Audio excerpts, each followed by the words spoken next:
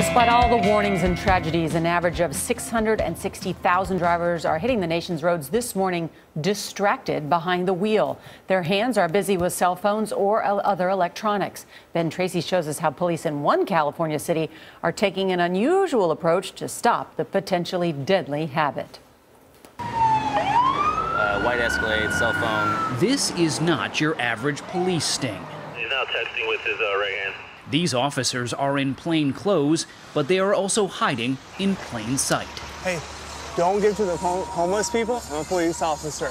These drivers assume the officers were panhandlers, but had they read the signs instead of whatever was on their phones, they would have realized they were about to get busted. Phone left hand.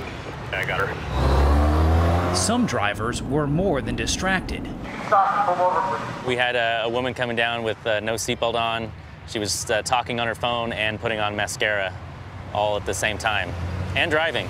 Cell phones are now involved in 1.6 million auto crashes each year that kill 6,000 people. 98% of adults say they know texting and driving is unsafe, but 49% admit to still doing it. It happened and, and it, it'll probably happen again. However, I got caught. Detective Devin Peck says in just two hours they stopped 54 people and issued 39 tickets for distracted driving. New ticket. A first time offense in San Bernardino totals $162. I text sometimes and, and I know I shouldn't be in.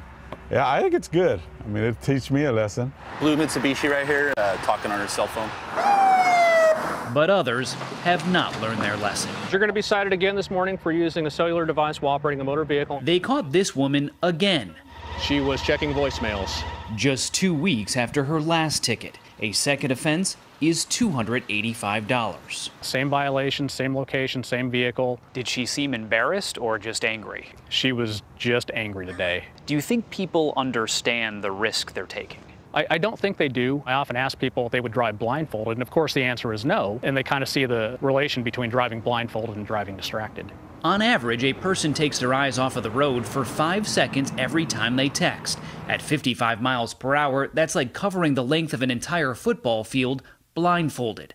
San Bernardino is cracking down on distracted driving because Lieutenant Travis Walker says the city now has more traffic fatalities than homicides every year.